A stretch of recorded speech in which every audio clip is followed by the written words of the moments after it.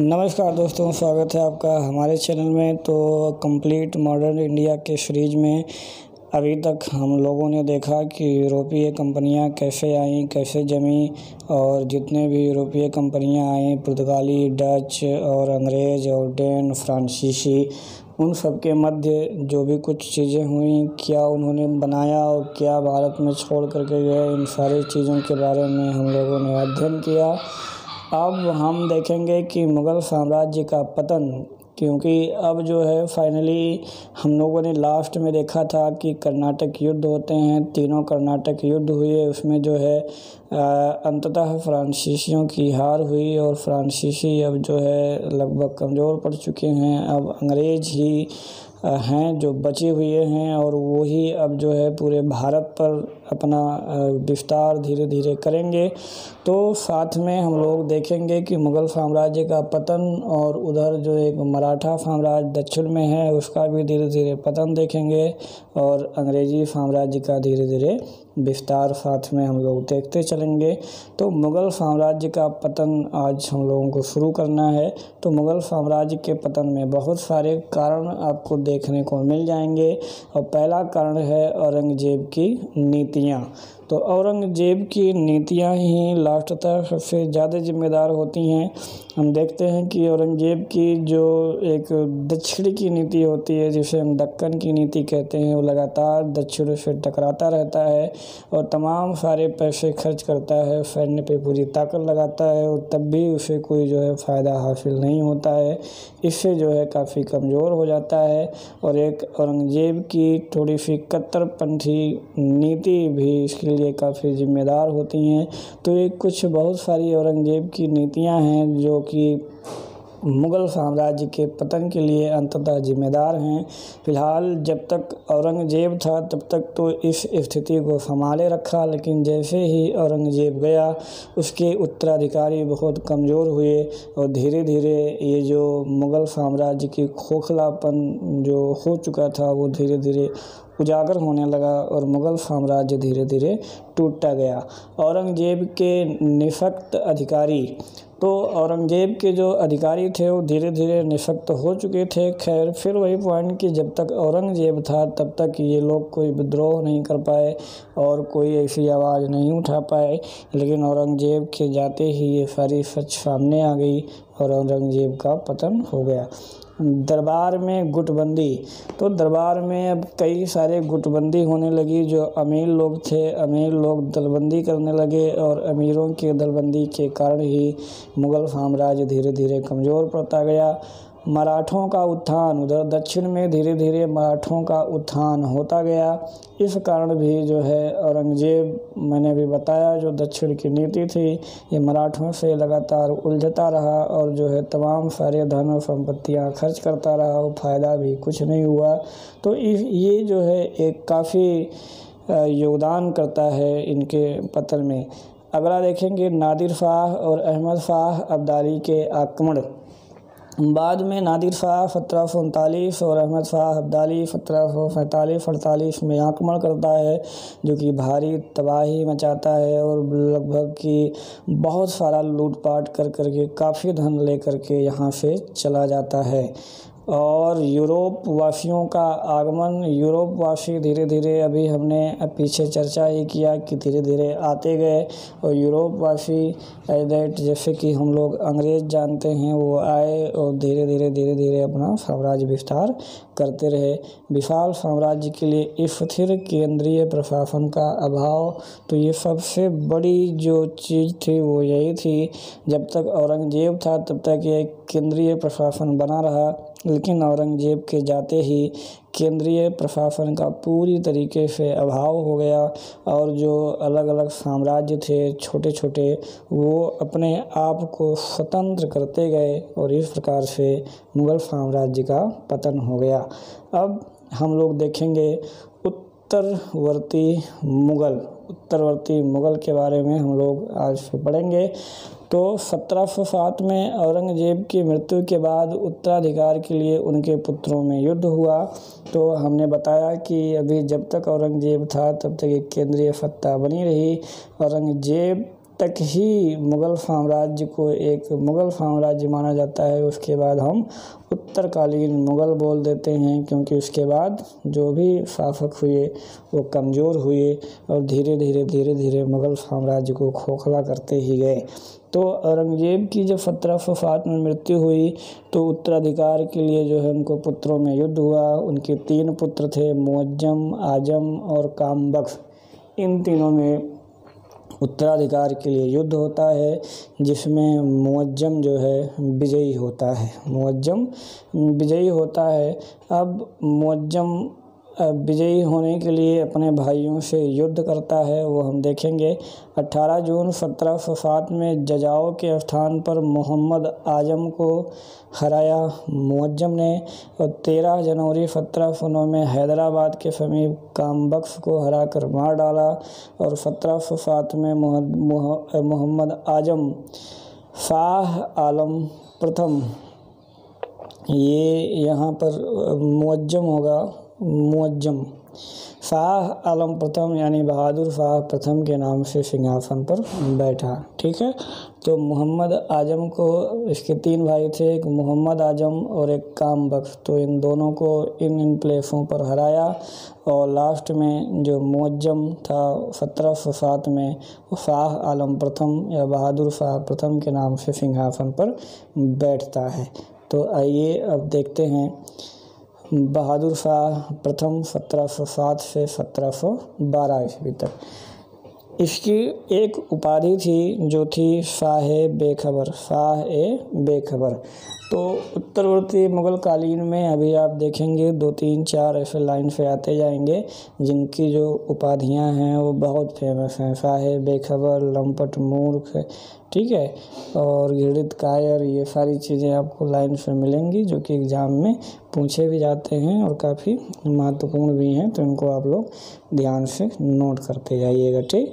तो बहादुर शाह प्रथम जो है गद्दी पर बैठता है, इसका कार्यकाल क्या होता है? सात, सत्रह सौ सात से सत्रह सौ बारह तक, और इसका जो उपाधि होती है शाह बेखबर। अब इसके बारे में थोड़ा सा देखेंगे।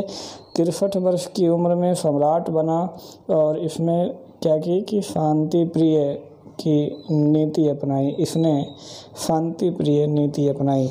इसने सोलह नवासी में मुग़लों की कैद में रह रहे शिवाजी के पुत्र, कौन था? साहू जी शिवाजी के पुत्र साहू जी जो सोलह नवासी से ही मुग़लों के कैद में रह रहे थे, को मुक्त कर दिया। और मराठों से मैत्रीपूर्ण संबंध बनाए, ठीक है? मराठों से मैत्रीपूर्ण संबंध बनाए। इसके समय में एक सिख नेता बंदा बहादुर, जो काफ़ी फ़ेमस थे 1710 में सरहिंद को जीत लिया, परंतु 1711 में मुग़लों ने पुनः सरहिंद को जीत लिया। तो एक सिख नेता बंदा बहादुर, जो 1710 में सरहिंद को जीत लेता है, परंतु 1711 में मुग़लों ने पुनः सरहिंद को जीत लिया। आगे देखेंगे। इसके दरबार में 1711 में एक शिष्टमंडल आया। इनके स्वागत में एक पुर्तगाली स्त्री ने महत्वपूर्ण भूमिका निभाई। इस पुर्तगाली स्त्री जूलियाना को बीबी एवं फिदवा की उपाधि दी गई। इस यहाँ इस होगा। इस पुर्तगाली स्त्री जूलियाना को बीबी एवं फिदवा की उपाधि दी गई। बहादुर शाह प्रथम के लिए सर सिडनी ओवेल का एक कथन है, वो आपको ध्यान रखना है, पूछा जाता है। यह अंतिम मुग़ल सम्राट था, जिसके विषय में कुछ अच्छे शब्द कहे जा सकते हैं। यह अंतिम मुग़ल बादशाह था जिसके विषय में कुछ अच्छे शब्द कहे जा सकते हैं, क्योंकि इसके बाद जितने भी मुग़ल सम्राट आएँगे, वो बिल्कुल ही नहायती बेकार किस्म के होंगे, जिनके बारे में भी आप आगे देखेंगे भी।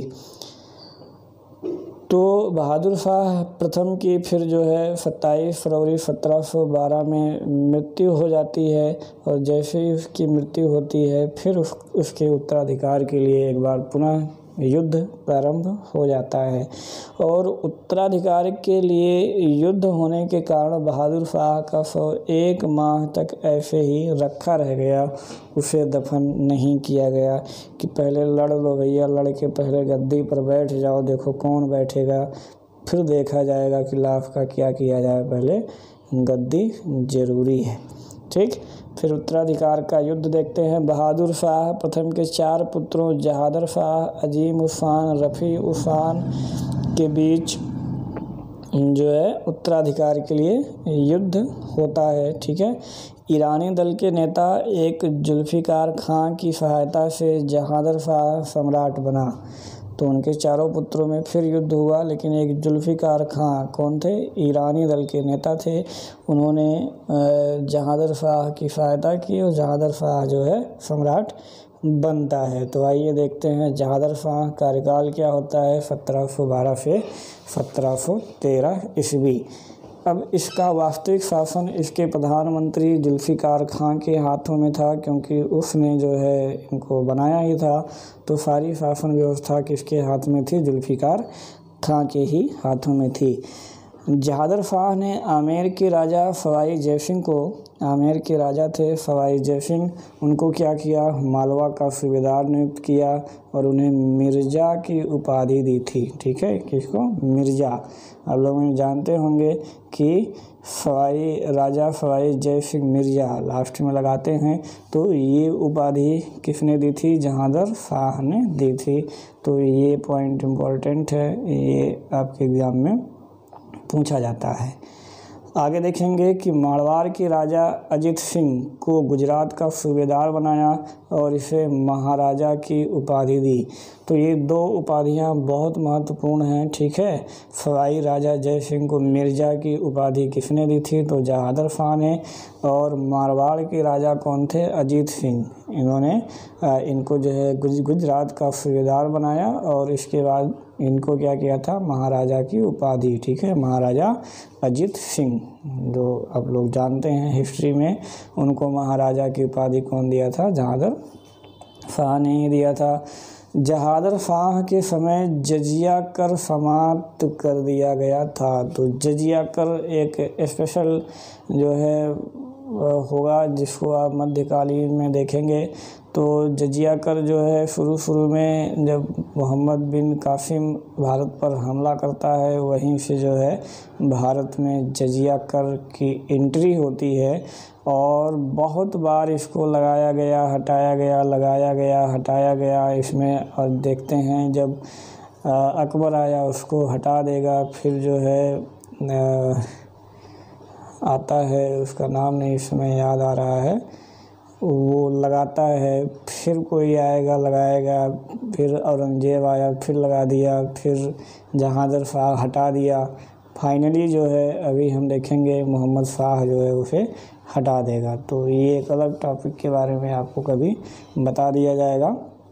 जहादर शाह लाल कुंवरी नामक वैश्या वैश्या से प्रेम करता था। इसको आप काट दीजिए। जहादर शाह लाल कुंवरी नामक वैश्या से प्रेम करता था। जहादर शाह ने मराठों को दक्कन में चौथ एवं स्वदेश मुखी वसूल करने का अधिकार प्रदान किया। किंतु जो इसकी वसूली वो कौन करते थे? वो मुग़ल अधिकारी ही करते थे, ठीक है? तो जहादर शाह ने मराठों को दक्कन में चौथ और प्रदेश मुखी वसूल करने का अधिकार दिया, लेकिन इसकी वसूली वो मुग़ल अधिकारी ही किया करते थे। इस सम्राट को इतिहास में लंपट मूर्ख के नाम से जाना जाता है। ये पॉइंट बहुत इम्पोर्टेंट है, ठीक? साहेब, बेखबर, अभी आपने पहले वाले में देखा, और जहादर शाह को क्या कहा जाता है? लंपट मूर्ख की संज्ञा दी गई है। अब फर्रुखसियर ने सैयद बंधुओं की सहायता से 11 फरवरी सत्रह सौ तेरह में सम्राट को पराजित कर और मार डाला। अब सैयद बंधु की एंट्री होती है, जिसे हम इतिहास में किंग मेकर के नाम से जानते हैं। अब सैयद बंधु आएँगे और उत्तरवर्ती मुग़ल काल में कई सारे बादशाहों को जो है वो सिंहासन पर बैठाते हैं, इसलिए हम उनको किंग मेकर के नाम से जानते हैं। अब आइए देखते हैं फरुखशियर आता है। फरुखशियर को आपने पीछे पढ़ा भी फरुखशियर के फरमान तो फरुखशियर ये वही हैं। अब आइए देखते हैं कि फरुखशियर का कार्यकाल जो होता है, वो क्या होता है? सत्रह सौ तेरह से सत्रह सौ उन्नीस तक, ठीक? मुग़ल दरबार के हिंदुस्तानी दल के नेता कौन होते हैं? सैयद बंधु अब्दुल्ला खान और हुसैन अली। ये दो नाम आप याद रखिए। ये भी एग्ज़ाम में पूछा गया है। सैयद बंधु कौन थे? ऑप्शन में जो है दो दो नाम आपके ऐसे रखे जाएँगे। तो अब्दुल्ला खां और हुसैन अली, ये दो सैयद बंधु थे और हिंदुस्तानी दल के नेता थे। इनकी सहायता से फर्रुखसियर जो है सिंहासन पर बैठता है। इसने क्या किया? अब्दुल्ला खां को प्रधानमंत्री का पद एवं हुसैन अली को मीर बख्शी नियुक्त किया। एक नेता बंदा बहादुर की फर्रुखसियर के समय हत्या कर दी गई। ठीक है, एक नेता नहीं, यहाँ पे आप सिख नेता लिखिए। मिस्टेक हो गई है प्रिंटिंग में। सिख नेता। सिख नेता, अभी पीछे बंदा बहादुर की मैंने चर्चा की थी तो सिख नेता बंदा बहादुर की फर्रुखसियर के समय हत्या कर दी गई। सैयद बंधुओं ने मराठा पेशवा बालाजी विश्वनाथ की सहायता से फर्रुखसियर की हत्या कर दी। तो फर्रुखियर बीच में थोड़ा सा कुछ इधर उधर हो गया। आ, तो बंधुओं की बात थोड़ा मानने से इनकार कर दिया था। एक दूसरे रास्ते पे चलने लगा जिससे जो है कुर्द होकर सैयद बंधुओं ने मराठा पेशवा बालाजी विश्वनाथ की सहायता से फर्रुखियर की हत्या करवा दी ठीक है? अब फर्रुखियर को भी एक नाम से जाना जाता है क्या? घृणित कायर। फर्रुखियर को इतिहास में घृणित कायर कहा जाता है। ठीक है? बाकी इसको छोड़ दीजिए। तो अभी हमने देखा, शाह आलम प्रथम, जिसको शाह बेखबर के नाम से जानते हैं, फिर आए जहादर शाह, जिसको कि जिसको लंपट मूर्ख के नाम से जानते हैं और फर्रुख को किस नाम से जानते हैं घृत कायर के नाम से जानते हैं, ये एग्ज़ाम में पूछे गए हैं, इसलिए आपको भी ये जानना ज़रूरी है। अब उसके बाद दो बादशाह आते हैं, दो सम्राट आते हैं, वो छोटे बहुत कम कम टाइम के लिए और वो सैयद बंधुओं की सहायता से बैठाए जाते हैं। तो रफ़ी उद्रजात जो 28 फरवरी से 4 जून तक रहता है, केवल सबसे कम समय तक शासन करने वाला मुग़ल सम्राट अगर पहुँचता है तो रफ़ी उद्दजात थे। सैयद बंधुओं की सहायता से सिंहासन पर बैठे थे। खैर, इतने कम समय में कोई काम तो नहीं कर पाएँगे। खाली नाम जो है, जानते रहिए। मोहम्मद शाह। सॉरी, एक और है, रफ़ी उद्दौला। छः जून से सत्रह सितंबर तक ये भी सैयद बंधुओं की सहायता से सिंहासन पर बैठे और शाहजहाँ द्वितीय की उपाधि धारण की थी तो इन लोगों में कोई खास नहीं है। बस सैयद बंधु की सहायता से लोग बैठते रहे। नेक्स्ट आता है मोहम्मद शाह। मोहम्मद शाह, जिसका मूल नाम था रोशन अख्तर, और सत्रह सौ उन्नीस से सत्रह सौ अड़तालीस एक लंबे समय तक जो है ये शासन करता है। रोशन अख्तर ने मोहम्मद शाह की उपाधि धारण की और सैयद बंधुओं की सहायता से सिंहासन प्राप्त किया। इसके काल में ही सैयद बंधुओं का अंत हुआ। और सैयद बंधुओं का अंत ना हुआ होता तो ये भी दो चार छः महीने एक साल तक के लिए सम्राट बनते और इनका भी हाल वही होता। लेकिन इसने चालाकी से जो है सैयद बंधुओं की हत्या करवा दी। सत्रह सौ बाईस में सैयद बंधुओं की हत्या करवा दी। इसी के समय में नादिर शाह का आक्रमण सत्रह सौ उनतालीस ईस्वी में हुआ। नादिर शाह, जिसे जो है नेपोलियन कहा जाता है, ठीक है? तो हम नादिर शाह का आक्रमण जो है अभी जस्ट आगे देखेंगे पूरा विस्तृत में, नादिर शाह और अहमद शाह अब्दाली का आक्रमण। मयूर सिंहासन पर बैठने वाला यह अंतिम बादशाह था। क्यों? क्योंकि नादिर शाह ने जब आक्रमण किया था तो मयूर सिंहासन को अपने साथ उठा ले गया था, ठीक है? तो शाहजहाँ ने मयूर सिंहासन को बनवाया था और एक क्वेश्चन कई बार पूछा गया है कि मयूर सिंहासन पर बैठने वाला अंतिम शासक तो वो कौन था? मोहम्मद शाह रंगीला। ठीक है? अभी जैसे हम लोग आगे तीनों के जो है उपाधियाँ देखें तो इनका भी एक उपाधि थी मोहम्मद शाह रंगीला।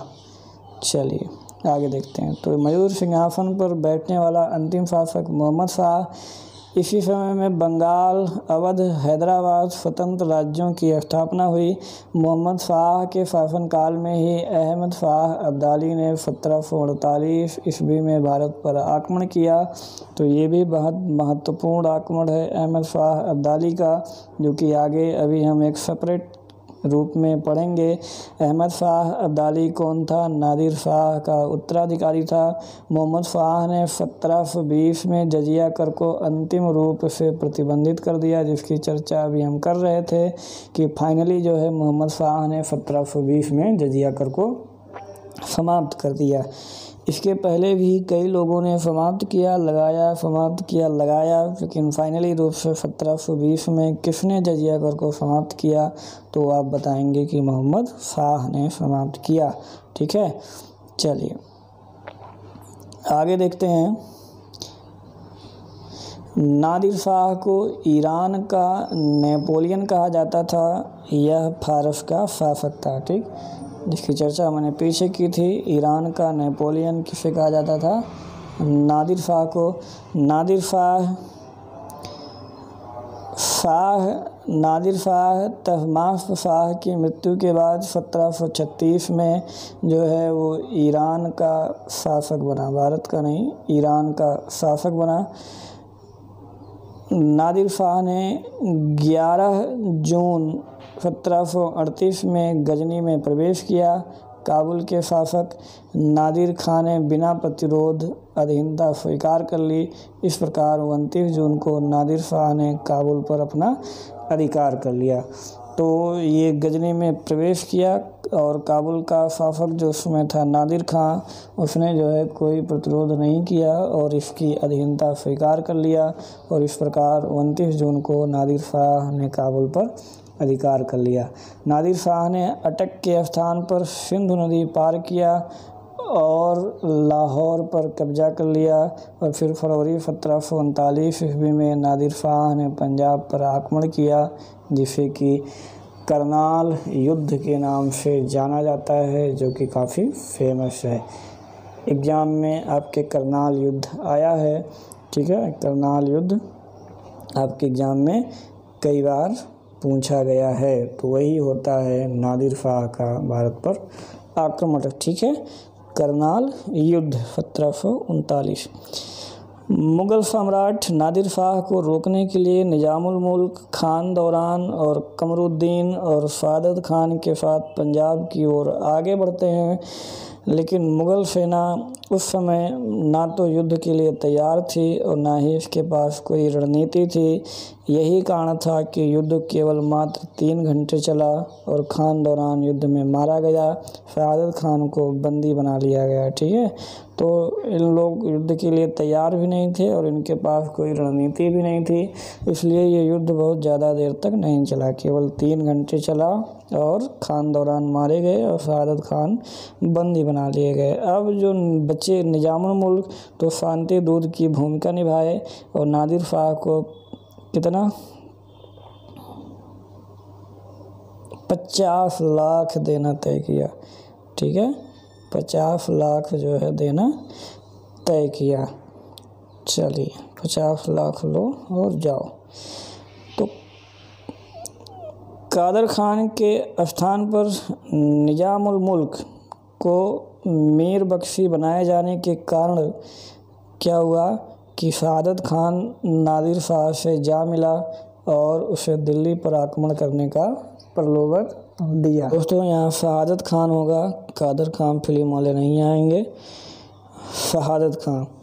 शहादत खान के स्थान पर निजामुल मुल्क को मीर बख्शी बना दिया गया, जिससे कि शहादत खान नाराज़ हो गया और शहादत खान क्या हुआ? नादिर शाह से जा मिला और उसे जो है दिल्ली पर आक्रमण करने के लिए प्रलोभित किया कि दिल्ली पर आक्रमण करो भैया, वहाँ ज़्यादा माल मिलेगा, ठीक है? तो बीस मार्च सत्रह सौ उनतालीस को नादिर शाह दिल्ली पहुँचा। कितना? बीस मार्च सत्रह सौ उनतालीस को नादिर शाह दिल्ली पहुँचा। नादिर शाह का दिल्ली में प्रवेश देखते हैं। बीस मार्च सत्रह सौ उनतालीस को वह दिल्ली पहुँचा एवं अपने नाम का खुतबा पढ़वाया। खुतबा क्या होता है? प्रशंसा। जैसे कहते नहीं हमारी हमारी जो है आ, मतलब प्रशंसा में गीत गाओ ठीक है? तो ऐसे ही खुतबा क्या होता है कि मतलब उसके प्रशंसा के गीत गाए जाएँ, उनके बड़ाई किए जाएँ, ठीक है? तथा अपने नाम के सिक्के जारी किए। तो खुतबा पढ़वाया और नाम के सिक्का जारी किया। दिल्ली में इसी बीच अफवाह फैला दी गई कि नादिर शाह की मृत्यु हो गई। तो जब अफवाह फैला दी गई कि नादिर शाह की मृत्यु हो गई इस वजह से दिल्ली में नादिर शाह के साथ सौ सैनिक मार दिए गए। लोग खुश हो गए कि नादिर शाह मर गया, अब इनको सैनिकों को मारना शुरू कर दो। लेकिन ये क्या था? केवल अफवाह था, सच नहीं था।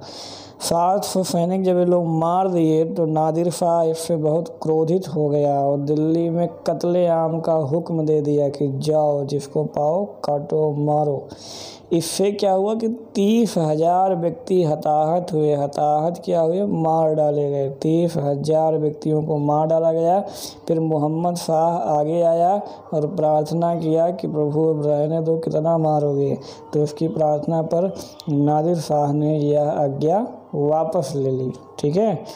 तो ये रही नादिर शाह की कत्लेआम दिल्ली में। चलिए, आगे देखते हैं नादिर शाह की वापसी। दिल्ली से वापस लौटते समय नादिर शाह ने अपने साथ तीस करोड़ नगद, सोना, चांदी, हीरे, जवाहरात के अतिरिक्त सौ हाथी, सात हज़ार घोड़े, एक सौ हिजड़े भी लेके गया। एक सौ तीस लेखपाल दो सौ लोहार, सौ पत्थर तराशने वाले और दो सौ बढ़ई मतलब इतनी सारी चीज़ें वो दिल्ली से वापस लौटते समय लेके गया। यानी खूब लूटा और खूब मारा सबको। नादिर शाह, शाहजहाँ द्वारा बनवाया गया मयूर सिंहासन एवं साथ में कोहिनूर हीरा, ये बहुत इम्पोर्टेंट है। मयूर सिंहासन और कोहिनूर हीरा भी अपने साथ लेकर के गया। मुगल सम्राट ने अपनी पुत्री का विवाह नादिर शाह के पुत्र नसीर उल्लाह मिर्ज़ा से कर दिया। मतलब एक बधू भी लेकर के गया, ठीक है? तो इतनी सारी चीज़ें जो है, नादिर शाह दिल्ली से ले करके लौटता है। कश्मीर एवं सिंध नदी के पश्चिमी प्रदेश नादिर शाह को मिल गए। कि भाई कश्मीर और सिंध के जो पश्चिम के क्षेत्र हैं, वो सब हमें दे दो, क्या करोगे इधर? ठीक तो ये भी मिल गए। नादिर शाह ने मोहम्मद शाह को पुनः मुग़ल साम्राज्य का सम्राट घोषित कर दिया। जाते जाते कह दिया कि अच्छा इतनी चीज़ दे दिए हो तो ले करके जा रहे हैं, आराम से मौज से खाएँगे और इस क्षेत्र का हम करेंगे क्या? तो इससे अब फिर से सम्राट बने रहो, फिर कमी पड़ेगी तो फिर आएँगे। ठीक है? तो इतनी सारी चीज़ें हुई। अब देखते हैं सम्राट अहमद शाह, सत्रह सौ अड़तालीस से सत्रह सौ चौवन। तो यह मोहम्मद शाह का पुत्र था, जो उधम भाई उधम भाई नर्तकी के गर्भ से जन्मा था। इसी के शासनकाल में अहमद शाह अब्दाली ने भारत पर आक्रमण किया था। बहुत आसान है, सम्राट कौन था? अहमद शाह। और आक्रमण किसने किया? अहमद शाह अब्दाली ने। यानी कि नाम सेम है भाई, याद करने में कोई दिक्कत नहीं। है इसने अपने प्रिय हिजड़ों के सरदार जावेद खान को नवाब बहादुर की उपाधि प्रदान की। अहमद शाह अब्दाली ने भारत पर कुल सात बार आक्रमण किया। मोहम्मद गौरी ने सत्रह बार किया था, इसने सात बार आक्रमण किया, ठीक है? जिसकी चर्चा अभी जस्ट हम आगे करेंगे। अहमद शाह अब्दाली के आक्रमण। आलमगीर द्वितीय, सत्रह सौ चौवन से सत्रह सौ अट्ठावन ईस्वी। इसका नाम क्या था? अजीमुद्दीन था। यह अपने वज़ीर इमादुल मुल्क का कठपुतली साहिब था। वज़ीर ही इमादुल इमादुल मुल्क ही सब कुछ था। सत्रह सौ सत्तावन में दिल्ली से वापस लौटते समय अहमद शाह अब्दाली ने आलमगीर द्वितीय को सम्राट बनाया था। तो अहमद शाह के समय में अहमद शाह अब्दाली ने आक्रमण किया था और जब वो दिल्ली से जाने लगा तो आलमगीर द्वितीय को सम्राट बना करके चला गया था। चलिए दोस्तों, आइए। अब देखते हैं अहमद शाह अब्दाली का भारत पर आक्रमण। तो सत्रह में नादिर शाह की हत्या किए जाने के बाद अहमद शाह अब्दाली कांधार का स्वतंत्र शासक बन गया। अब्दाली ने शीघ्र ही काबुल को जीत लिया और आधुनिक अफ़गान राज्य की नींव रखी। अहमद शाह अब्दाली, अभी पानीपत का तीसरा युद्ध होगा। हाल ही में पानीपत एक फ़िल्म बनी है, उसमें आप अहमद शाह अब्दाली को देख सकते हैं, बहुत ही आराम से। अब्दाली ने भारत पर कुल सात बार आक्रमण किए। कितनी बार? सात बार आक्रमण किए। सत्रह सौ अड़तालीस में अब्दाली का पहला आक्रमण पंजाब पर था, जो कि असफल रहा वो जीत नहीं पाया वो हार गया था, ठीक है? और भाग गया था। सत्रह सौ उनचास में पंजाब पर पूरा आक्रमण कर पंजाब गवर्नर मोइन मुल्क को परास्त किया। सत्रह सौ सतावन में अब्दाली ने दिल्ली में प्रवेश किया तथा खूब लूटपाट की। सत्रह सौ सत्तावन में चौदह जनवरी सत्रह सौ इकसठ को अहमद शाह अब्दाली एवं मराठों के बीच पानीपत का तीसरा युद्ध हुआ, जिसमें मराठाओं की हार हुई। तो अभी जो पानीपत फ़िल्म बनी है, वो पानीपत का तीसरा युद्ध है, जिसमें अहमद शाह अब्दाली एवं मराठाओं के बीच में युद्ध होता है। अगला देखते हैं, शाह आलम द्वितीय। इनका कार्यकाल सत्रह सौ उनसठ से अट्ठारह सौ ईस्वी तक चलता है। आलमगीर द्वितीय की हत्या के बाद जो है शाह आलम द्वितीय मुग़ल सम्राट बना। शाह आलम द्वितीय का जो मूल नाम था वो क्या था? अली गौहर था। इसके समय में पानीपत का तीसरा युद्ध एवं बक्सर का युद्ध हुआ। बक्सर के युद्ध में शाह आलम द्वितीय ने बंगाल के पूर्व नवाब मीर कासिम का साथ दिया था। तो बक्सर का युद्ध अभी आएगा सत्रह सौ चौंसठ ईस्वी में। बहुत फ़ेमस है, जो कि मीर कासिम और शाह आलम द्वितीय और अवध के नवाब शुजाउद्दौला ये तीनों मिल कर के अंग्रेज़ों के विरुद्ध लड़ते हैं और हार जाते हैं। और फाइनली जो है, अंग्रेज़ों के लिए भारत के दरवाजे पूरी तरीके से खुल जाते हैं। इसकी चर्चा आगे होगी। बक्सर के युद्ध के बाद अंग्रेज़ों ने शाह आलम को पेंशन भोगी बना दिया कि पेंशन लो और घर पर बैठे रहो, बूढ़े हो गए हो, क्या करोगे? सारी शासन व्यवस्था हमको दे दो, हम देखेंगे। सत्रह सौ बहत्तर ईस्वी में मराठा संरक्षण में शाह आलम द्वितीय पुनः सिंहासन पर बैठाया गया। मराठाओं के संरक्षण में ये जो है पुनः गद्दी पर बैठे। तेईस जुलाई वन, सत्रह सौ अठहत्तर को गुलाम कादिर ने शाह आलम को सिंहासन से उतार दिया और 10 अगस्त, सत्रह सौ अट्ठासी को शाह आलम की आँखें निकलवा कर अंधा बना दिया गया। ठीक है? अक्टूबर सत्रह सौ अठासी में महादजी सिंधिया ने पुनः सम्राट की ओर से अधिकार कर लिया और फिर 1803 में अंग्रेज़ सेनापति ने दौलत राव सिंधिया को पराजित किया और शाह आलम द्वितीय ने अंग्रेज़ों का संरक्षण फाइनली स्वीकार कर लिया। तो ये इतने घटनाक्रम हैं जो आपको ऐसे सरसरी निगाह से देख लेना है। इस प्रकार 1803 ईस्वी में दिल्ली पर अंग्रेज़ों का अधिकार हो गया। मुग़ल सम्राट, अब क्या हो गया? केवल केवल पेंशन भोक्ता बन गया। केवल पेंशन मिलता था। शाह आलम द्वितीय ने अंधे शासक के रूप में राज किया। शाह आलम द्वितीय की आँखें निकलवा दी गई थी। अंधा हो गया था, उसके बाद फिर से जो है वो शासक बना, यानी कि अंधे शासक के रूप में वो राज किया। तो ये इम्पोर्टेंट है। कहीं भी व्हाट्सएप फेसबुक वाले टाइप क्वेश्चन ये पूछे जा सकते हैं। ठीक है? चलिए। अब आगे देखेंगे। अकबर शाह द्वितीय, अठारह सौ छः से अठारह सौ सैंतीस ईस्वी। तो 1806 ईस्वी में शाह आलम की जब मृत्यु होती है तो फिर उसका पुत्र अकबर शाह द्वितीय शासक बनता है और अंग्रेज़ों के संरक्षण में वह गद्दी पर बैठता है और अंग्रेज़ों के संरक्षण में गद्दी पर बैठने वाला वह पहला शासक होता है। तो अंग्रेज़ों के संरक्षण में गद्दी पर बैठने वाला पहला शासक तो भैया अकबर शाह द्वितीय अकबर महान का नाम जो है इसने थोड़ा सा डाउन कर दिया। अंग्रेज़ों के संरक्षण में ये गद्दी पर बैठा। चलिए, अकबर की पेंशन पर शासन करने वाला शासक था अकबर। द्वितीय ने राम मोहन राय बहुत इम्पोर्टेंट पॉइंट है को राजा की उपाधि प्रदान की। राम मोहन राय को राजा की उपाधि प्रदान की और पेंशन हेतु ब्रिटेन भेजा किसने? अकबर द्वितीय ने। तो अकबर द्वितीय ने ब्रिटेन राम मोहन राय को ब्रिटेन भेजा। वकील थे ब्रिटेन भेजा। जाओ, वहाँ कुछ चर्चाएँ करो। भाई, हमारी पेंशन वनशन कुछ बढ़े। ठीक है?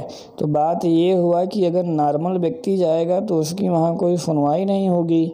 इसलिए जो है उनको राजा की उपाधि दी गई कि राजा राम मोहन राय, ताकि पद थोड़ा सा बड़ा हो जाए और राजा की तरफ़ से आए हैं, ताकि वहाँ पे थोड़ी सुनवाई उनवाई उनकी हो जाए, कोई पूछे।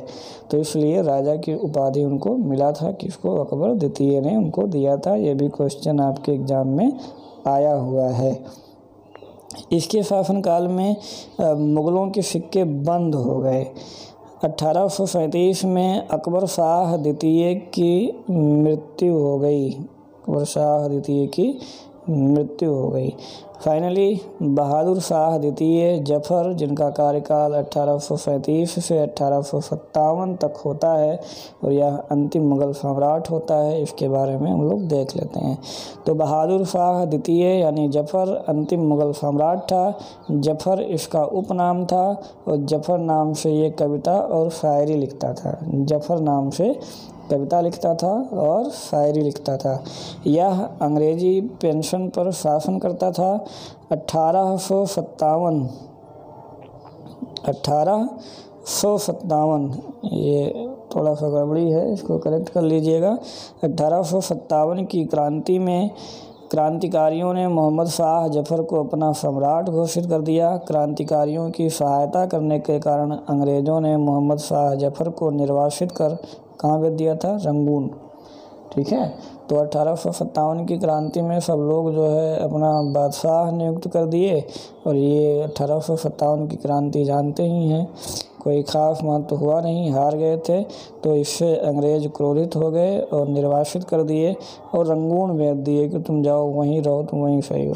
रंगून में निर्वासित काल के दौरान बहादुर शाह ज़फ़र ने अपनी प्रसिद्ध कविता एक सुना देते हैं, बहुत बढ़िया सा है, मैंने इसको नोट किया है। क्या थी? न किसी का आँख का नूर हूँ, न किसी की आँख का नूर हूँ, न किसी के दिल का करार हूँ, जो किसी के काम ना आ सका, वह बुझता हुआ चिराग हूँ। तो बहुत फ़ेमस है, ठीक है? ये लिखी थी किसने? बहादुर शाह, ज़फ़र ने, निर्वासित निर्वासित काल के दौरान कहाँ? रंगून में।